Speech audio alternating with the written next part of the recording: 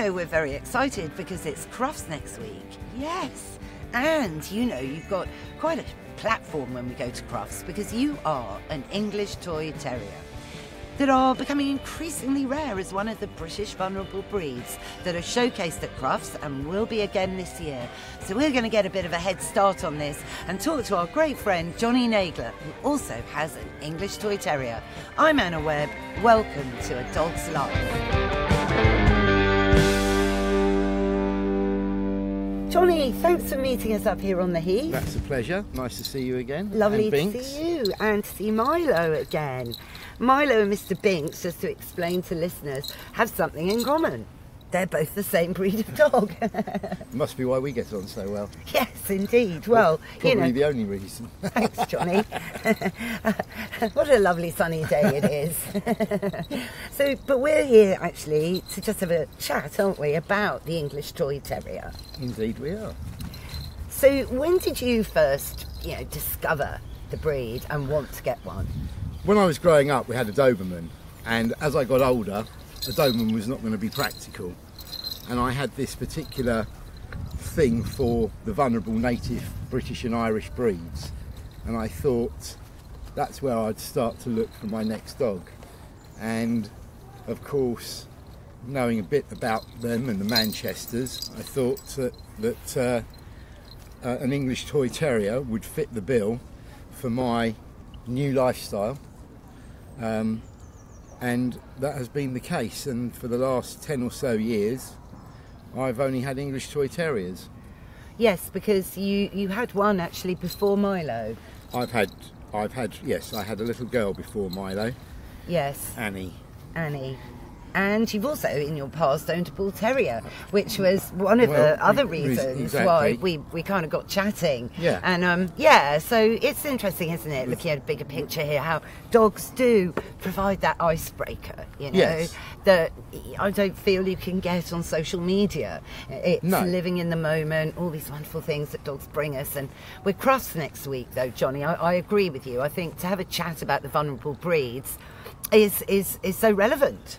Absolutely. I mean, we know that there are 30, 32 vulnerable breeds where there are less than 300, uh, you know, puppies born a year. In the case of English Toy Terriers, uh, I believe the numbers aren't fully out. I believe it's 63 puppies uh, in 2022, which is actually down from the 101 in, in the year before, Gosh. which is, um, you know, upsetting.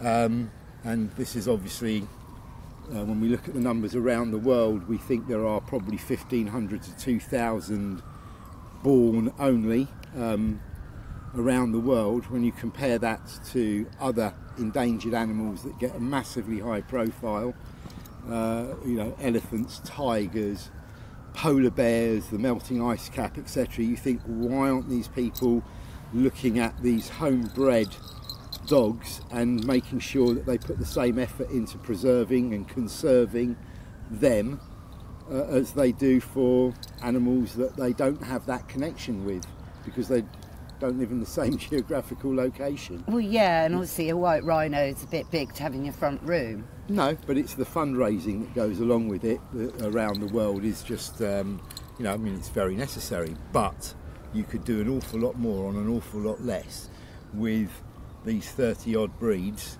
that are native to these this country and that we have a direct association with. Absolutely, I can't. I mean, listen, I'm on your page with it, you know, also because we've evolved epigenetically with these breeds. Um, they're kind of we're. I think we're more in their DNA than we actually realise, and vice versa. You know, I mean, so the English Toy Terrier. Um, it's awful to think they are rarer than the giant panda, isn't Yes, it? You I know? mean it, it, it, it, is shocking, and unfortunately, um, you know, there's a lack of education. Although everyone does their best, but unfortunately, social media is a, a double-edged sword.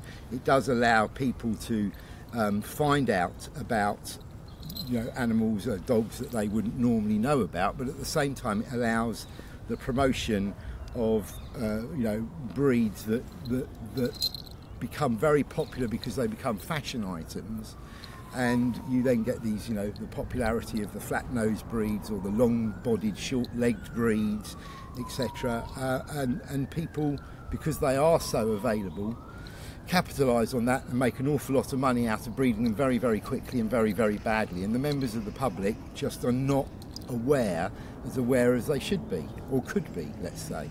Yeah. So that's very, um, you know, that's why I've tried with what I've been doing myself on social media and with the English Toy Terriers and all the vulnerable breeds to, I say promote, but promote through education rather than, you know, uh, being being too trying to make them into a fashion item because there aren't the quantities available even if you wanted one. I think it's a long way away from being a fashion item yeah. with the ETT at the minute. But it's true, Jonny. I mean, you know, since we've been friends, you've you've set up this wonderful UK-wide walking group where people travel literally far and wide. I join in when I can in London on these walks where ETTs are in abundance and they look brilliant together. Yeah, we always get stopped, don't we? You know, Yeah, always, asked, what are know, these what are these dogs? And people Yeah. literally stand a, a gate when you see. I mean, if you think if you think that there are there there are, there are 76 English Toy Terriers uh, going to be entered into Crufts this year, um, I've got a group, a private WhatsApp group of 70 English Toy Terriers, none of which show, well, very few of which show, a few of them do, but the majority of them are pet owners uh, with English Toy Terriers, and the majority of those pet owners have never seen, apart from when they collected their puppy, another English Toy Terrier. And over a period of, in fact, next weekend is the fifth anniversary Oh, is of the very first meeting that I had with um, the lovely Stephanie and Curtis, who I found on uh, Instagram because that's the only place I operate. There's a nice, friendly environment and with pretty pictures, uh, where I managed to convince her to meet me. And she didn't think I was some mad lunatic that was, tr- Really? uh, you know, to, to meet me with Curtis. And from that, we now have uh, groups of 30 plus do- or 30 dogs regularly uh, coming together uh, from, as you say, far and wide. Oh, it's so much fun. The last one was at Christmas, and I used to bring Prudence, didn't I, my bull Yeah, terrier exactly. along. Yeah. And it's, it's really lovely. It's really, really lovely. But look, so let's chat a bit more about. There's a lot going on, though, Jonny. People are trying to save the ETT, and you're doing a lot with a lovely lady called Marianne. Can we touch on that a bit? So Marianne has got a fascinating history. Uh, Marion Jackson Moss. Her family she discovered about 10 years ago uh, were the top breeders in London at the time. I'm talking about at the time the 1850s of English Toy Terriers. To such a degree that I believe, and I may have to be corrected, that her family bred English Toy Terriers that were sold to Queen Victoria and the Danish royal family. Wow. Since she discovered this, she has started looking into the history because she's, uh, you know, loves ancestry and so on and so forth, family history. And after years and years of research at the British Library and at the Kennel Club Library, which is the most amazing place to go to, um, she finally got herself uh, a, a- her own English Toy Terrier. And over the last, actually, again, another anniversary, literally from last weekend, a year ago, she'd come on our walks and we were got talking. And I said, I'm going to the Kennel Club Library to see an exhibition of, funnily, of vulnerable breed photos put together by a girl called Maddie Elise. Um, they were all over Crufts last year. Anyway, Marion said, I'd like to come to that. I haven't been to the Kennel Club Library for ages. I said, Well, when you do, let me know. I'll meet you because it's a nice day out. I, I enjoy it. Since then, she's sucked me in, so to speak, into learning more and more about the breed and helping her with the research, a lot of which she does um, in conjunction and on behalf of and with uh, Dr. Steve Inch OBE, who was the former archivist of the official Ken, uh, um, English Toy Terrier Club. And um, now he's set up his own heritage page. He produces some lovely booklets, which are all now in the Kennel Club Library, accessible for What, just on. ETT? Just on English Toy oh, Terriers. gosh, I must get one of those. So, so but it's going quite well, this research. I mean, it's only been a year, but, you know, there's some... for me, for Yeah. her, it's been since 2016. Right, She's been yeah, you know, yeah. looking into her family history. Yeah, how, So- how moving though. Yeah, and and yeah, and I know her granddad bred some some champions, and there's a picture somewhere of him with a trophy. Yeah, yeah, there, there is. I, I don't recall the detail of it because there is so much with a history going back so far, and a lot of it is actually recorded. Recorded. I can't retain it, the information. I don't have that mindset. She certainly does, and um, and the ability to record it. But I help, you know, open a few doors here and there, and, Yeah. and, uh, and, and and you know, dig out bits of paperwork. You know, you talk about you know the mid 1800s, and you know I wrote an article actually recently for um, Countryside magazine because the lovely journo does a vulnerable breed every month. Right. So it's great 'cause Yeah. it's all raising awareness. Yes. And um, you know, all dogs have a purpose, or at least breeds do. Whether these designer crossbreeds really have a purpose, who knows? Because they've they're never been companion dogs, I suppose. Well, they're mixed together. Yeah. Well, let's not go there. No, indeed. Um, so, but here, look. So basically, way back in the mid 1800s, before we had drains and sewers, we relied, you know, on the English Toy Terrier and all the terriers Yeah, to save us from, you know, Vermin control, rats. yes. You know, because we didn't have drains. Yeah, we of- didn't have drains and, and, and sewers. You know. Yeah.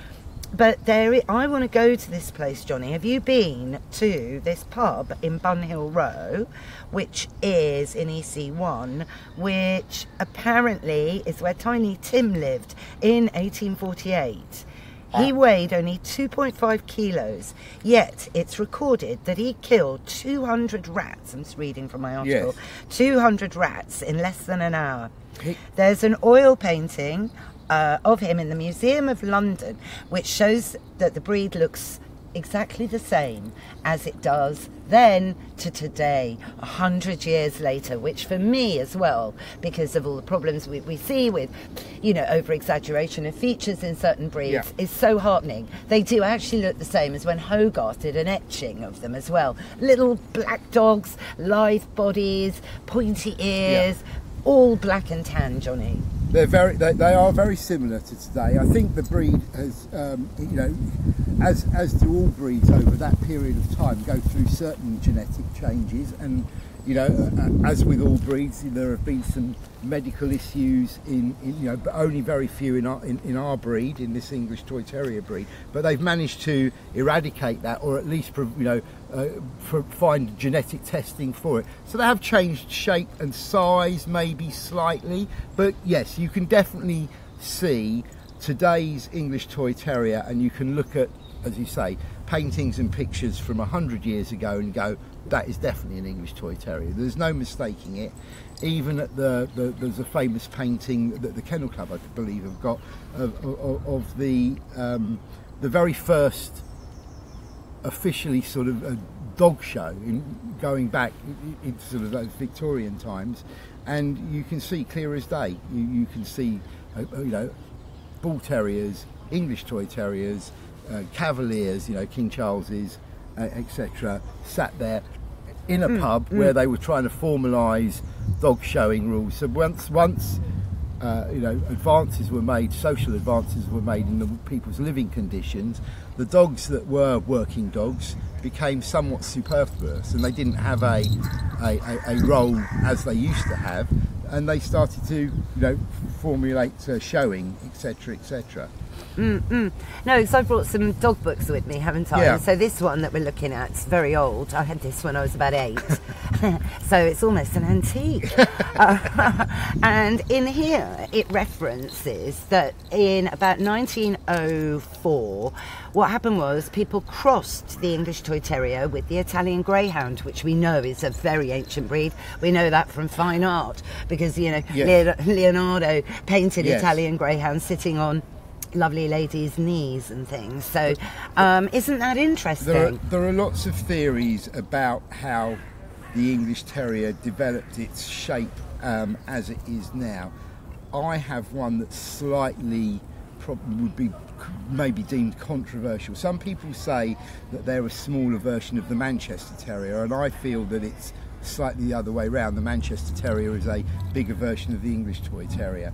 I think that I saw somewhere uh, once some text referring to the Romans saying the English terrier or terroir to go to ground uh, is, is where that word comes from, is what they were bred for, was black and tan. And I think it must have been something border terrier, a bit wirier of coat, and there were. There used to be a wire coated or a longer haired version of these guys, just as there used to be a, an English white terrier that was all white. That has gone extinct. I know, I know. Um, but I think they, they- crossed this border yeah. terrier with an Italian greyhound, maybe a Cirneco dell'Etna, which is a direct descendant of the Pharaoh hound. what, and then they see came in with the and Then Romans? they, and then they came over with the Romans and they, they brought their Yeah, their dogs and yeah. mixed it with our dogs Yeah. to get this slightly, you know, this more live, more agile, Yeah. quicker. And then it was fine-tuned and in then the fine-tuned and era. fine-tuned, and then it was fine-tuned to what we see today o- o- o- over that last hundred you know, years. as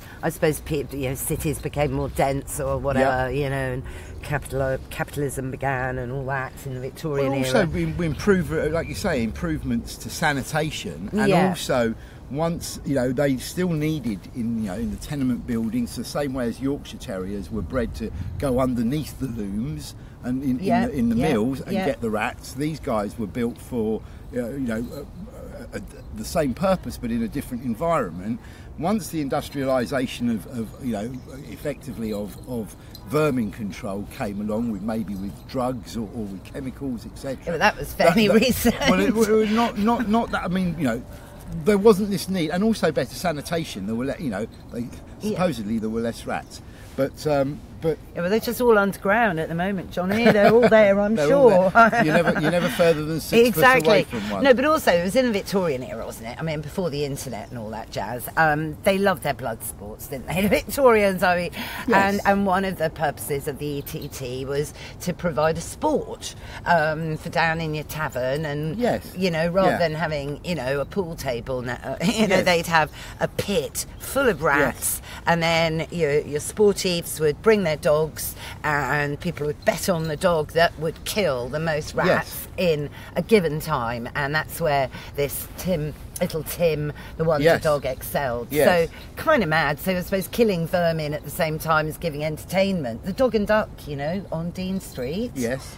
That had them Right. in there. Is that funny? I haven't done. I haven't been to the old sites where these uh, rat pits Oh, we were. should go. But I'm planning to try and organise a a little. Uh, I say a walking tour. Uh, I'm trying to get a half a dozen or a few English toy terriers together to go back to those places to try to try and rec- try and recreate that. Uh, yeah, you know, I'm just looking for this where Tiny Tim actually lived. Hang on, because the pub is still there. I'm sure. I, I, but, yeah, a couple Uh, of them are, but obviously they. I, there's one in. There Well, one in Bunhill Row. Park, and there's one in. Bun Hill Road. Yeah. Bunhill Row um, is where it is. Well, we need But to look that it, up. bringing it right up to date in in America, of course, they have a sport called barn hunt, which is basically um, a barn with a load of straw bales and secreted around the barn at various locations, hidden from the view of the, the, the owners of the dogs, are live rats in small cages. Right. And the dogs have to go in there and identify the position of the rats. Oh, what you know. fun.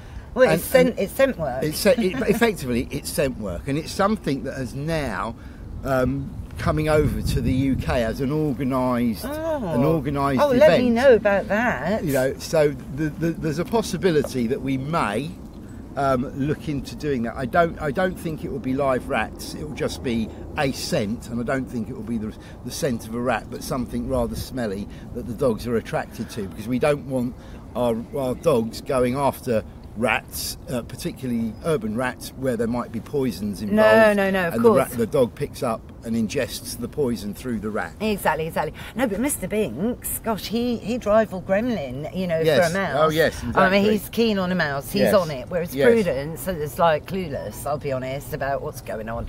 But we've had a couple of incidents. He's Um, he's caught them. He's caught them yeah. out in fields and things like that. I'm not Right. too concerned. Yesterday in Primrose Hill, I he was off the lead as usual. I I look at 50 yards away and I can see a lady with a lead with something attached to the bottom of it, very close to the ground. And I Oh, thought, no. I know exactly what that is. A rabbit. Two- no, two ferrets. Ferrets. I, I got Milo quickly on the lead because I Yeah, didn't know how he was going to react. and we went over to see to, to see them. They live with two cats that are terrified of them because they've got quite a good bite. Oh, no, a ferret. Oh, And- my but gosh, the you can take your their finger off. Labrador, their Labrador curls up with. They curl up with the Labrador to sleep, so they complete. Milo thought they were the best thing since sliced bread. How funny. Nose to nose with them, sniffing them. They were having a play with him. Well, a lot He of it, as good as Jonny. gold. Yeah, but a lot of it's to do. It's the same with dogs and cats. The cat that doesn't run, Yeah. The dog likes. exactly. Okay, if that cat runs, or if that ferret had They think it's a run, exactly he that. would have been after He would have been it. after and then away. instinct is Yeah, kicking in, king, you know, yeah. from his ancient Uh, yeah, ancestors. rat, rat, rat. I know, but he was very, very. He was. He, No, it- lovely. It, was very amusing. Quickly though, but Milo's also quite a famous pets as therapy dog. He's one You're of the showing that the English yeah. Toy Terrier is so Yeah. versatile. Everyone must think about uh, the Toy terrier. This is what we do at as- Discover Dogs. Yeah, you know, we show people. We, I. I always dress him up in his, uh, put his pets as therapy outfit on. He was the third one. There is uh, one lady, Julie Crowley, that has four now, and there is another lady, Melanie Winter, who has one as well. So we, there are half a dozen. But they make great dogs to go into care homes and so on because they're small, they're, they're very hairless as breeds go, you know, Yeah. very smooth You do need you need dogs of all shapes and sizes for all different situations. You Okay. know, even a even a Great Dane can go into a, uh, an, a, an old care home, you know, people's Yeah, care yeah, home okay. and put their head Sure. on the pillow, Yeah. whereas these guys can No. sort of sit on their laps. Yes. So you need a little bit Yeah. of it. So yeah, But but, it's great but- to show them off what they can what they can do. Exactly, and it's you, you know, know. great charity for them to be you know flying the flag for as well. So Yes, I love that. yeah. But they are, aren't they, Jonny? I mean, I, I mean, either I mean, Binks has lived in the country, not for that long, and then he's spent most of his life obviously in London, where his ancestors were really from. Yeah. But you know, they're good for town or country. Perfect. They're tiny. They weigh Yeah, about five neat and clean kilos. and tidy. They don't eat too much. Their poops are proportional, Yeah. which is also a bonus at the moment because I'm my, amazed that they're my main bugbear. Jonny, is this. I can't believe we haven't trodden in dog poo yet to get to this bit Right. of the heath because it's everywhere. Because no one's picking it up anymore. But shall we save that for another episode? Well, I think so. yeah, so Jonny, I mean, um, with Crufts coming up, you know, um, let's hope people notice the toy terrier when they're walking around Discover Dogs. Well, exactly. I mean, Discover Dogs is uh, you know a, a, a twice yearly event at Crufts and also in London, um, and you've got all the all the main breeds of dog there, um, all the vulnerable breeds of dog there. There's there. over 220 breeds, you see. Exactly. And when you say that to someone, people go, really? Yeah. I thought there was only a cockapoo and a labradoodle available to buy. Yeah, that's not the case. This is the problem, though. That's what's that. That's what's you know in everybody's faces and what you see all the time. But I, I- as I say, the vulnerable breeds really need all the support that they can get. We'll be there on the Discover Dog stand at Crufts, as we are. Milo will be wearing his uh, Pets as Therapy uniform to illustrate that these dogs have a you know a role outside being just uh, you know companion dogs. Um, and it would be lovely to see as many people as we can. jingle, jingle, Milo. You're jingling on the podcast with your bells. When you've got a very dark dog that I know. around, it's very useful to know where they are, and if I can hear them. um, Absolutely. I mean, I lose Mr. Binks in my garden on a night. exactly. You know, you can't see them for. No. That is the thing. Do you think that's one of the reasons they're not that popular, Jonny? Because they are black and tan. Because let's face it, black dogs don't photograph as well as non-black dogs, and it's Instagram, isn't it? I, I have heard, I have heard that this this thing about you know the black dogs and the black cats are the least last ones Yeah. to get rehomed. It goes back to medieval days and, Is and, that what and it this is? myth, yeah, that I- black dogs and obviously black cats associated with witches. And yet, bizarrely, of course, you know, if you have a black car, it's very smart, so to speak. You know, all your limousines. You know, I, I Yeah, I don't hadn't know. thought of that. It's never crossed my mind that that the that the um, that it's because they're they're not popular. Because I think it's more this.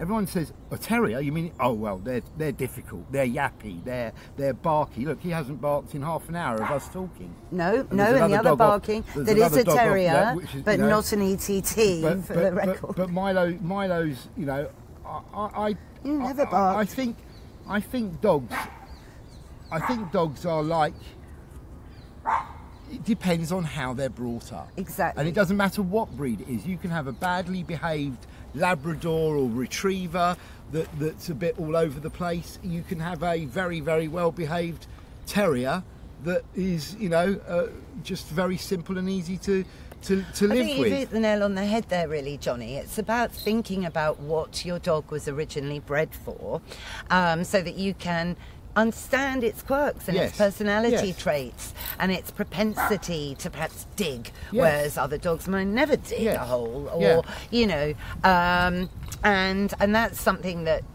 you know I see every day. People have no idea. No, people Um, buy dogs that they see it and they go, "That's cute. Where That's- can I get one? I want one tomorrow." Yes. Well, that's just not going to happen with these guys No. because if you do want one, you've got to be You've got to I mean, interviewed by all the, you know, but you know, uh, certainly a few years, and people won't wait that long. And in addition to that, we're very, very careful as to where the dogs go and who, who, who they're, you know, what homes they go into, because we want to make sure that they're they're not just, you know, I want one of those and I've got one. Um, you know, so we want to make sure that they're looked after properly, as everyone, as a responsible breeders should do. Yeah, and Uh, take on their personality, and- and- which is, you know, they are quite special, I would say, having obviously own bull terriers and Yeah. you know they are quite fragile in comparison to say a bull terrier Yes, um, you know they they are slightly built Yeah. which a bit you know we chatted about the italian greyhound Yeah. there they're known for breaking legs especially when they're you know. very young and exactly. they've got their legs are green until they get to even these guys you know six nine months you know a year old you want to be more careful Yeah. than you would do with like you say your prudence kind of thing Yeah, you know your yeah. bull terrier That's it. i mean we've seen prudence and milo charging around together and prudence with her shovel like muzzle has She's literally Lara Croft. yeah has Well- literally gone barreling into him and milo's gone do you tumbling remember in when the there was a very- day when you had to look after Prudence? Oh, yes. and you had to walk her on the heath and everything. Yeah, she was Uh, fabulous. I yeah. love her. But Yeah, I I'm used to her. Yeah, and I'm used to that breed as yeah, well. Yeah, yeah, exactly. So- I mean, she's so- not. You know, she can overwhelm people. Yes. Yes. but but she's I- you know to me. I, oh, she's great. you I know. She's I know. adorable. and, yeah. You know. But so there's differences even in terriers. Yes, you know. absolutely, Um, absolutely. Diff, you know, built for different things, That's but it. they've got the same name. I think it's the terrier bit that puts people off somewhat, but I think they've made a big mistake because something like this, or your Norwiches, or your Norfolks, little neat. Okay, they're hairier, but you can keep them, you know, neatly, neatly trimmed. You know, these dogs are so easy to manage. Well, They no grooming are- costs. I mean, it is the cost of. Yeah, cost of cost- living right. crisis, you know. And, uh, yeah. um, and grooming is Yeah. really expensive. Yeah, it's about sixty-five pounds for a small uh, Is it? dog. I mean, I've know, never looked into it. I mean, I've never- For, for a West Highland Terrier, we've had got friends with it. it you know, you've got two of those. That's 120, 130 pounds every six weeks if Yeah. you want to keep them neat and tidy. Yeah. Or And learn not- to do it yourself. Or learn to do it yourself. I mean, that's what people did in the olden days. I feel as well a bit at the moment with dog ownership is that uh, none They're a of fashion accessory. Well, yeah, it, well.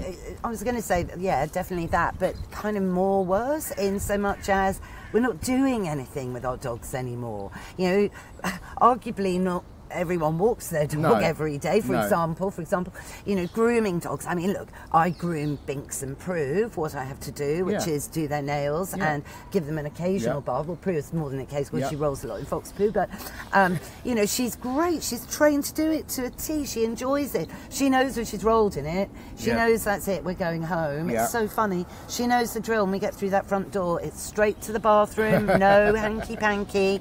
She waits for me to lift her into the bath where she sits patiently. Right. As I prepare Yeah. the temperature of the water. It's so funny because her face is so like, sorry. you know. Sorry, not but- sorry. sorry, not sorry. Exactly, exactly. So, you know, anyone can do this. You know, it's really not Yeah. difficult. And, um, But it's time, isn't it? And it, and it's you know. but time, you've got to have time with your dog, or why Yeah. get a dog? I mean, the other big thing that we've seen over the last couple of years, obviously with the whole lockdown business, is, is, you know, people are struggling with. Let's. I'm not going to say mental health. I'll call it anxiety because I don't want to tarnish everybody's got some illness. But the, the having a dog that has to be walked makes you go out. Yeah, if you go out, you get some exercise. And it helps And punctuate your you day. then talk to someone else. Exactly. That when you might be on your own or you might be having a bad day or you bump into someone with a dog. How did we meet? I had a dog. you had the same breed. I wanted to get some assistance from you and some ask you some information, so I came to find you. We've now got a friendship going back several years through having a particular breed of dog and having the same interests, etc., etc. That's got to be a good thing for, for you of know, course, you know, of course, uh, and I just think you know this um, this this situation where everyone I think, and I think social media has really created this, is that it's a right to have a dog. I mean, I was saying way back in 2002, it's a privilege to be Hmm. able to bring a dog into your life, and you have to make some sacrifices. yes, yes. You know, we can't have everything. We're so used as humans to have everything now, um, and that is all going to stop quite soon, I think, actually. but but it's We're very, about very changing fortunate. your life. Yeah, we're very fortunate in London, though. We're very fortunate in London, and we don't know how lucky we are. Why? Because in London, you literally walk down the high street, and there is a dog bowl outside every other every other shop, cafe, restaurant, whatever. You can take dogs in so many places. You move outside, let's call it the M25, or a bit further afield, and people really struggle to take their dogs with them. Now, for me, Milo's so well behaved, uh, etc., uh, that that I will take him everywhere with me. I mean, literally, he's been to weddings, funerals, bar mitzvahs, the whole the whole nine yards, and you know, people look at you. I had to go and have a, I had to go and have a, to the doctors. He came with me. Now, that's not the case everywhere else. So we are fortunate, and I think that's why dog ownership is higher in towns and cities. You've also got maybe people that, uh, you know, are, are single and have dogs as companions, and that's why you know. I would say and advocate if you are looking for a dog and thinking that you're going to give a dog a home, please start with the British and Irish native vulnerable breeds. Come and see us at Crufts. Come and see us at Discover Dogs. So you're going to be there obviously at Crufts because it is next week, Jonny. Yes, it is. Gosh, I'm getting quite excited about it, really. So are you are you going to be there? Uh, Obviously, yes, you are. we are. We will. We will be there. We will be on the Discover Dogs English Toy Terrier stand. We will be wearing our Pets as Therapy uniform to uh, show people that these dogs are not just things that you uh, have as a companion, and that you know they Have can. They purpose. have a purpose that might not be their original purpose, but they are adaptable. Um, as I say, not every dog can be, of course. I've got his sister. She likes three people, three dogs, and has a instant dislike for children from 100 metres away for no reason at all. Uh, they were both brought up exactly the same way. Go figure. There you go. No, it's like identical twins. Exactly. They can have completely different Yeah. personalities and preferences. But Jonny, I'll see you up at Crufts then. Um, can me and Mr. Binks come on the Discover Dog stand for a bit? Absolutely, we'd love to have you there. Fantastic. Huh? Well, I'll see you there, if not before. Indeed, lovely to meet you. Oh, thanks, Jonny. Bye. That's our show, Mr. Binks. Yes, I know, you loved hanging out with Milo on the heath. Yes, and you're right, it is time for Woof of the Week. So, when you're thinking about what type of dog to bring into your life, go on, check out the British vulnerable breeds. There's bound to be a dog there that tickles your fancy.